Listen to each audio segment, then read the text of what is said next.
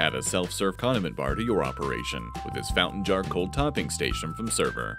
This countertop unit dispenses four sauces from 3.5 quart fountain jars, and the pumps can dispense 1.25 ounces of product, adjusting in 8 ounce increments thanks to the reducing collars.